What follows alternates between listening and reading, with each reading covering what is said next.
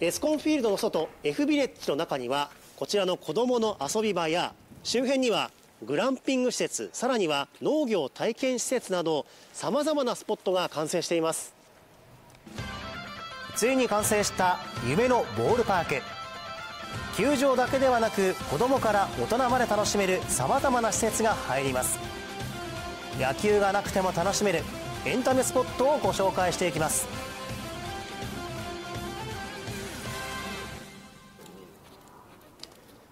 あー温まります、えーこちらのグランピング施設宿泊だけではなくてテラスでは焚き火も楽しめるんです。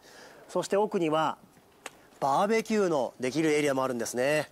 球場を見ながらなんと贅沢なひとときでしょうか。ボールパーク焚き火テラスオルパ。8棟ある宿泊施設ではバーベキューや焚き火ができます。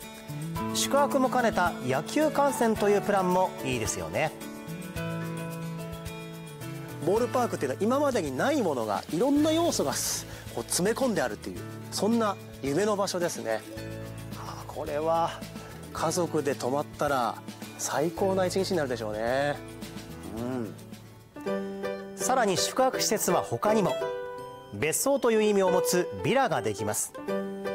高級感あるこの施設にも驚きの設備がありました。お邪魔します。わあ。木をふんだんに使っていて山小屋風の素敵な空間が広がっています。そしてお見えましたよ、えー球場の目の前。今凍ってるんですが沢が広がっていてその向かいには新球場エスコンフィールド北海道が一望できます。なんだか自分のものになったかのような特別感が味わえますね。ビラのお風呂です。おサウナですよ。サウナ。プライベートサウナが施してあります。非常に綺麗なサウナ。家族でゆっくりとリラックスできそうですね。そしてジャグジーだけではなくて向かいには水風呂もあります。水風呂を楽しんだ後は外外気浴整うこともできるスペースがあるんですね。さらに子どもたちの施設もあります。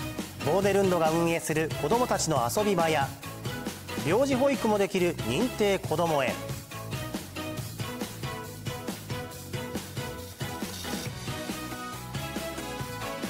また農業学習施設もできる予定です。エクビレッジにできるさまざまな施設。多くの人たちが集まる場所になりそうです。